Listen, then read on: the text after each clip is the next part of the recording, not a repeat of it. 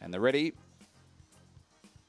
And racing, Hunter began quickly, also showing early speed up on the inside was Freddie Smile. Freddie Smile cut off the favourite who dropped out very quickly, and Freddie Smile is the leader. Out by a length and a half coming across was Jackie Bale and Proven Katie goes ahead of it. Up on the inside was Zelamar Diva. Then in behind them, next of all, was Premier Fun. Around the outside, Ritzalium and Jackie Bale. Well back was the favourite Mullet Hunter, and by Magic near last, they go down the back. Freddie Smile the leader. Out by two and a half lengths, Proven Katie, Premier Fun. Then followed by Ritzalium joining in around the outside, but on the corner, it's Freddie Smile in front on debut, in on debut over this trip. Starts to draw away, running on Ritzalium, but it's Freddie Smile defeating Ritzalium. Third goes the way of Premier Fun, Jackie Bale. In behind them next was Proven Katie. Well back in the field was By Magic and uh, Zelamar Diva and Mullet Hunter at the rear.